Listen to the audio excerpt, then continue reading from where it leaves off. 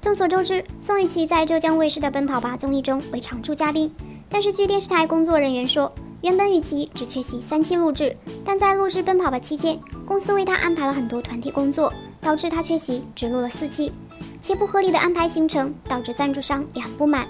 原本打算第四期让雨琦给 M C 拍了专属广告，结果因为公司原因拍不成，最后只能把广告换成别人。因此，粉丝们都在维权表示希望雨琦回来。录制最后一期《奔跑吧》节目，公司要重视雨琦的个资，毕竟作为中枢断层的 TOP 成员，却队内个资最少。对此，有网友就表示，不知道公司在搞什么，这严重影响了雨琦在国内的信誉，对雨琦本人百害无一利，对团体也没有任何好处。借此就是想要打压雨琦，逼他续约。还有粉丝分享说，在签售会上就有粉丝问他，怎么总是缺席奔跑吧？雨琦说：“我努力了，后面只能去一期。”粉丝听到这个回答，也觉得很心酸。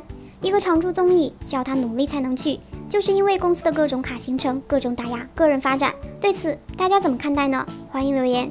爱豆韩舍每日解说最新韩娱，欢迎点赞和订阅哦。